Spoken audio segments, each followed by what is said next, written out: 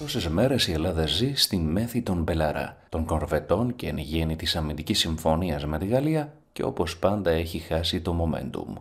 Πίστευε κανείς πως ο Σουλτάνος δεν θα αντιδράσει, πέρασε μια βόλτα από Σότσι, πήρε τις εγγυήσεις που ήθελε, θα κάνει όπως το πενταπόσταγμα έγραφε και χθες στην Τουρκία ρωσική εξοπλιστική απικία και μας κουνάει το δάχτυλο. Οργή και απειλές λοιπόν από Τουρκία μεριά για τη συμφωνία Ελλάδας-Γαλλίας και δηλώσεις από το τουρκικό Υπουργείο Εξωτερικών πως θα προστατεύσουμε τα δικαιώματά μας σε Αιγαίο και Μεσόγειο και κατηγορίες πως η Ελλάδα απειλεί την περιφερειακή ειρήνη.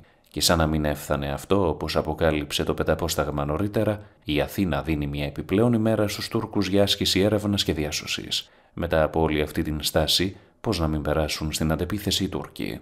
Εντάξει, είναι λίγο φαϊνότερον πως η ανακοίνωση του τουρκικού Υπουργείου Εξωτερικών είναι πιο πολύ για εγχώρια κατανάλωση, μιας και η κυβέρνηση Ερντογάν Μπαχτσέλη τα έχει βρει σκούρα με τα ομαδικά πυρά της αντιπολίτευσης. Αλλά η στάση της Αθήνας ανοίγει την όρεξη για νέες προκλήσεις στο Αιγαίο και είπε ο Μητσοτάκης στη συνέντευξή του από το Λούβρο είχα κάνει μια πρόβλεψη πως θα έχουμε ένα ήσυχο καλοκαίρι και γιατί να μην έχουμε ένα ήσυχο φθινόπωρο και έναν ήσυχο χειμώνα.